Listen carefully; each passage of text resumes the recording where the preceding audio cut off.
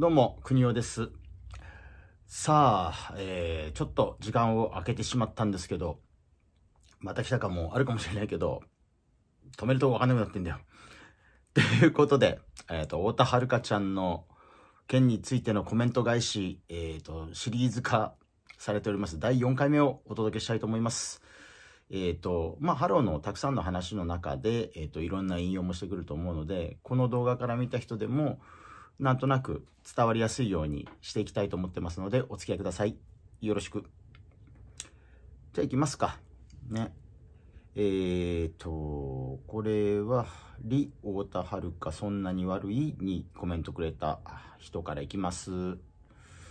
ポジティブセールスコンサルタントコンサト塾さん。ねすごいね、この名前。いきますね。ポジティブめちゃくちゃ大事ですよね。チャンネル登録、高評価させていただきました。今後、今後とも拝見させていただきますので、よろしくお願いいたします。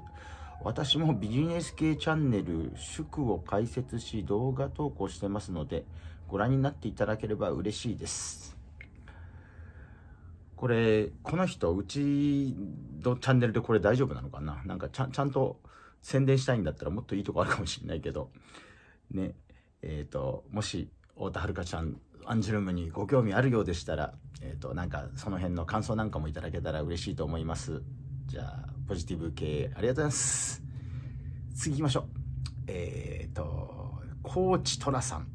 はじめまして、16歳、はーちゃん。やっちゃったことは二十歳ならクビでしょうね。ただまだ若い、やり直せると思います。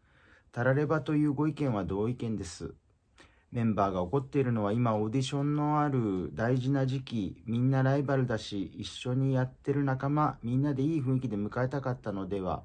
あとスタッフはメンバーにとっては信頼関係強く、このことで悪く言われるのが辛いんじゃないかな。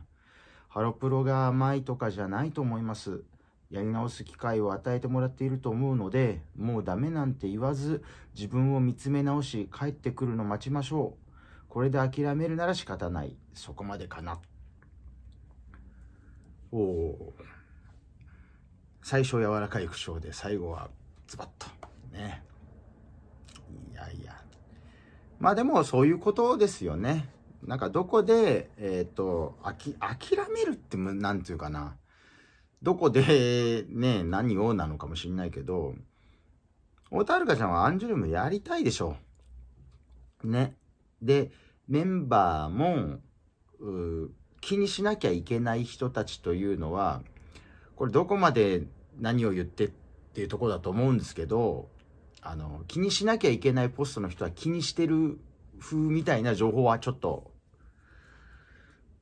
あるという感じです。ね。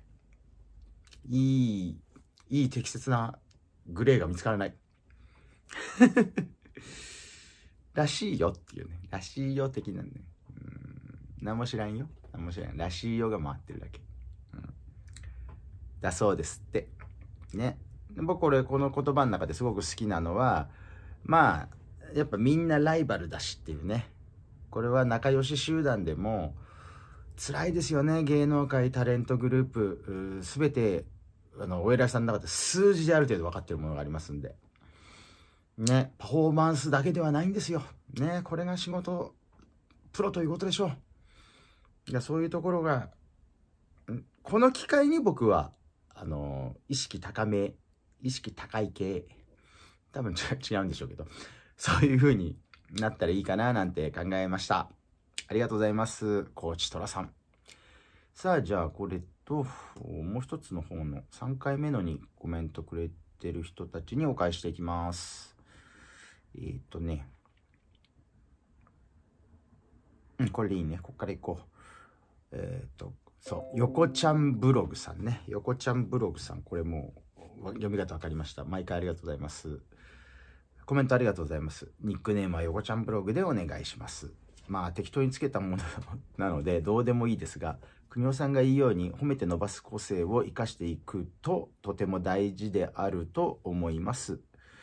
アイドルとして活動していく上で個性を生かすのは大事ですが最近のハロプロはフォーメーションダンスなどの集団での結束みたいなのが重要視されパフォーマンス力は向上しましたが反面一人一人の個性が生かされるというのが薄れてきた気がしています OG の先輩先輩方からもアイドルではなくパフォーマンスみたいだとの話がありました。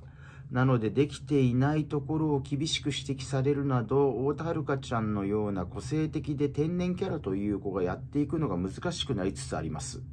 まあ個人的には太田遥ちゃんがキュウリ大好きキャラなのでキュウリの苗付けから栽培収穫まではるかちゃんがやるというん？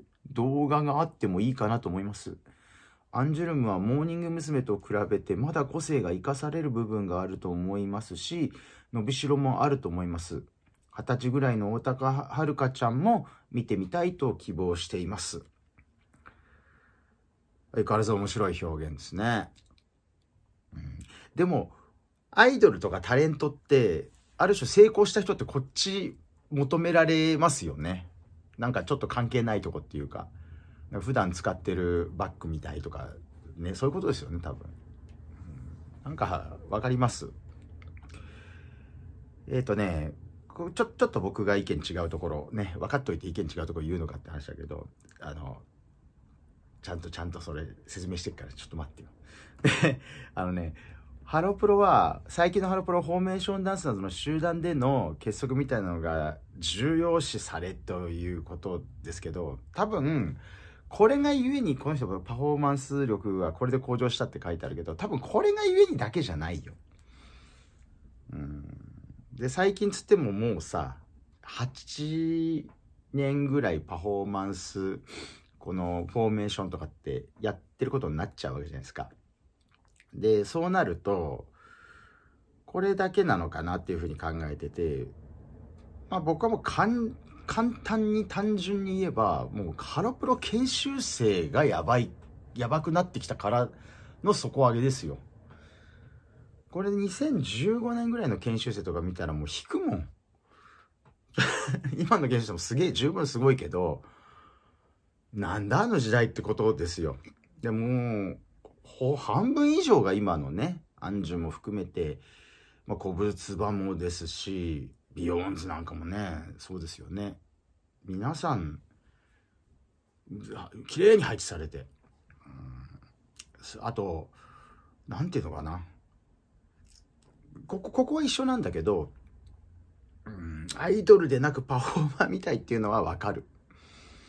衣装とかもね。うん、で、それは残念な、なんかさ、寂しい反面、なんかそっち基準にこっちも持っていかれちゃってるところあるから、これ一概にどうなのかなって。ただ今そういう、そういうフェーズなのかもしれないよね。でその中で判断されちゃうっていうのも、これも時代の、ある種タイミング前の動画で言ったけど2020年代っていうのがどっち行くかっていうのはこれから見どころじゃないですか。ね。そう思います。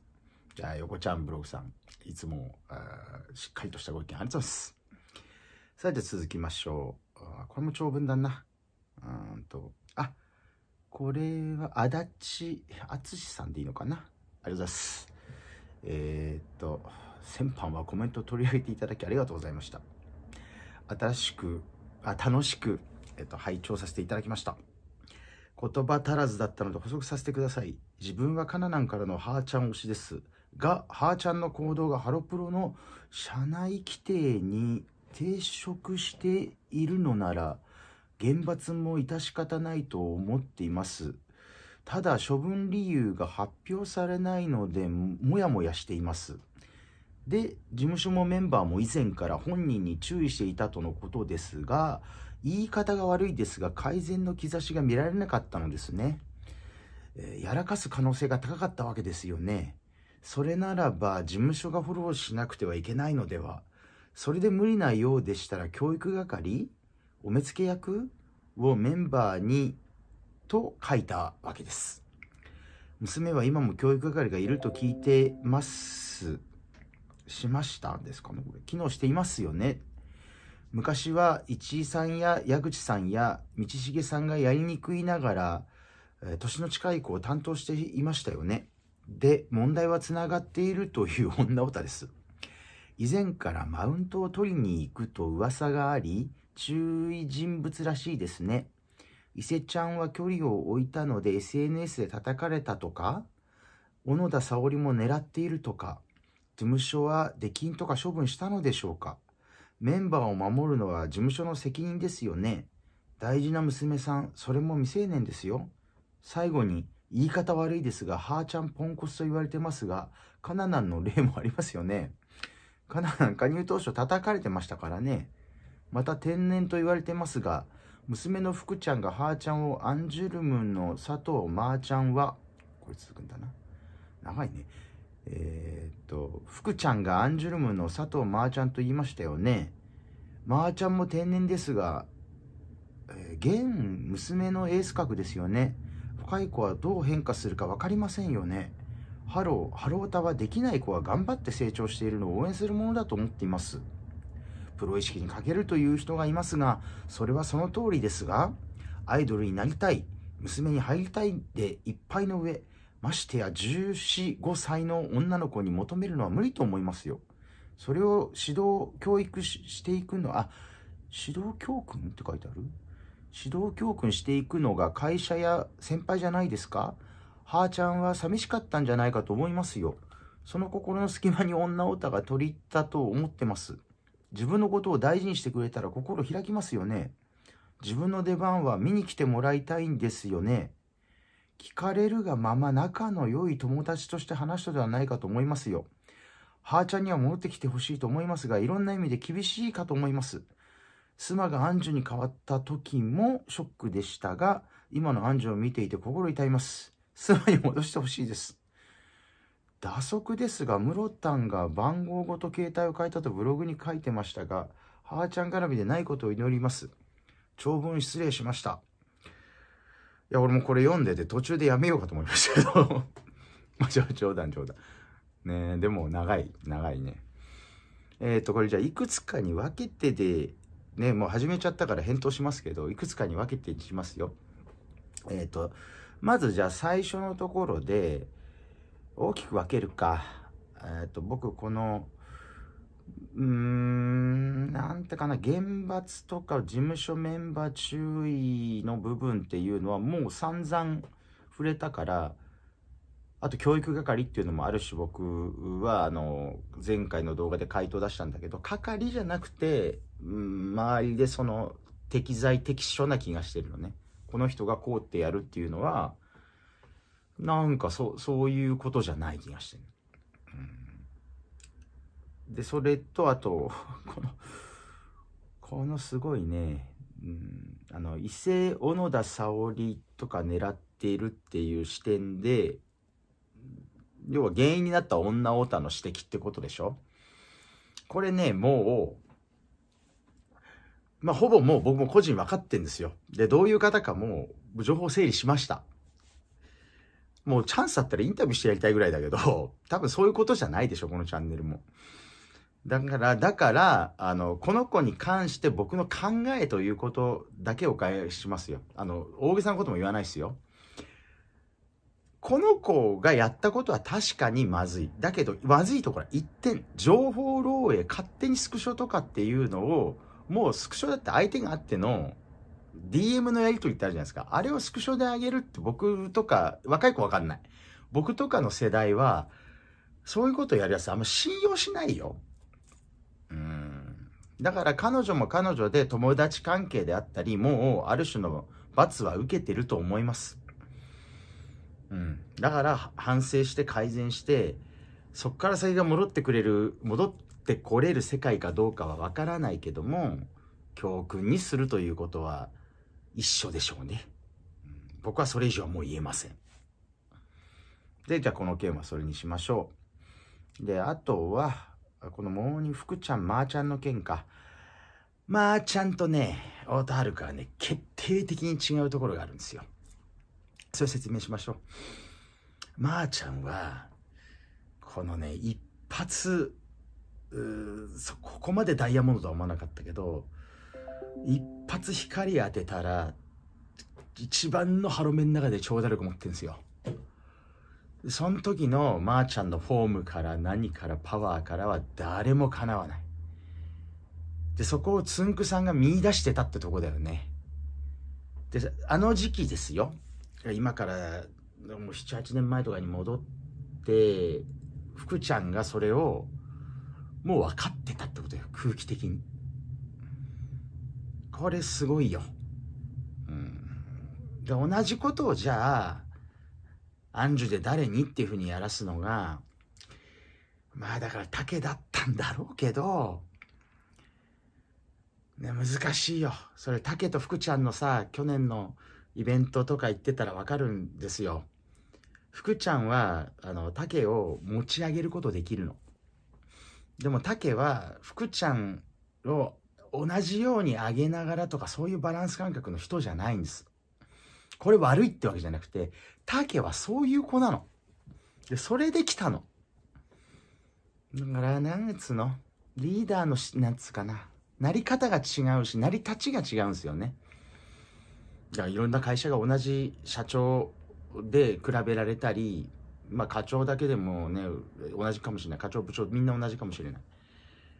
そのポストの成り立ち方によってて、一概に比べちゃいけない気がするんです。ねえ、これが竹用語になってるかどうか微妙かもしれないですけど、うん、そういう答えになります。すいません。で、もう一個、もう一個、ね、せっかく書いてくれたから行くんだけど、妻がアンジュに変わった時もショックでしたが、今のアンジュを見てると心を痛みますって、これはね、あの、名前が変わったっていうより多分3期が入ってきた時っていうことだと思うんだけど、これで良かったよ。多分。うん、僕、あやちょ以降、バタバタバタとアメリカの方々、竹を除く方々が去っていったところを見たら、うん、去年近しい人には言ってたんだけど、僕が竹だったらこれ室が残ってたら前提になるんだけどね身を引いてあの理香子神子室みたいなさ、まあ、順番で言うと理香子室まあ神子とかだけどそのアンジュルムにさしてあげるその2015年スタート時ということですよねアンジュルムという名前が。っていうのも一つのドラマで竹は今年1年そのための準備で走って来年抜けるみたいのもなんか美談になるかななんて思ってたんですけど今多分抜けらんないっす。いやー、本当に竹察する俺。そんな感じ。はい、じゃあこの辺にしましょう。ありがとうございます。えっ、ー、と、じゃあ続いて、あこの人、ここが最後かな。じゃあ、カンタロウ44さん。ありがとうございます。えっ、ー、と、ロクスマの頃からのファンです。カナナン推しでした。今は箱推しです。昨今悲しいことばかりですが、あ私たちをは見守るしかありません。こんな時こそ辛い思いのあの子たちを温かく見守り見守りたいです。もちろんこのような動画をあの子たちの誰かが見てくれたら元気づけられるような言葉がたくさんあることを願います。素晴らしいですね。答えですね。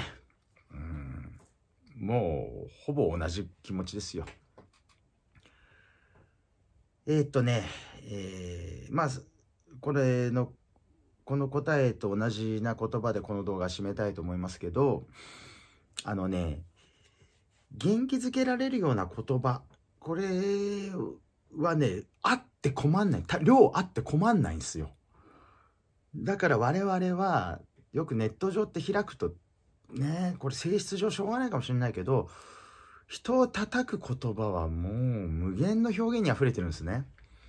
だけども、この言葉ですよね元気づけられるようなそれがなぜ対等にイコールでないのかっていうことですよね。そんな面白くないかな。うん。がそれは僕はできるならばまあ大人になって悪いことしてたら言われ言われりゃいいよそりゃしょうがねえもん。それで、うん、考えりゃ、まあ、考えるのも遅い場合もあるけどね。それはしょうがねえけど、子供たちってことで行こうよ。ね。そしたら、ね、もう簡単に見れちゃうんだから、あこういう大人もいればこういう大人もあるって比較対象が、せめてどうと、みたいなね。方がいいのかななんて、僕は思います。ピロピロうるさいね、これね。もうパソコン最近落ちがちで。すいません、もう立ち上げたらすぐこうなっちゃうんです。はい、じゃあ、ちょっと話ずれそうなので、えっ、ー、と、締めたいと思います。えー、毎回、こういった形で、ちょっとコールレスポンスができるのがあって、他の動画のレスポンス動画も、後でちょっと時間あったら上げたいと思ってるんですけど、僕、アンジュルムというグループが今一番危機にも、なんですか、危機感を持って感じてるであろうことっていうのは、この期間にやっぱり、ファンが逃げちゃうって思ってるはずなんす。メンバーみんなが。で、まあ、リカコ、ムロ、アイアイとか、ね、合ってるみたいなブログに上げてましたけど、なんかああいうとこで思い出しましょうよ。アンジュルムどういうとこで我々は楽しんでいたのか。で、どういうメンバーのつながりというのがアンジュルムの魅力だったのか。そんなこと考えて帰ってくるアンジュルム、そして今の時間を充電としてるはずなんで、次、みんなの前に現れる時にはどういう風に出てくるのかっていうのを楽しみにする。その時間にしたいと考えておりますんで、皆さんも同じような気持ちだったら嬉しいです。では本日は回答動画、例に漏れず長くなってきておりますが、お付き合いいただいて感謝しております。またディスカッションしていきましょう。ありがとね。じゃあね。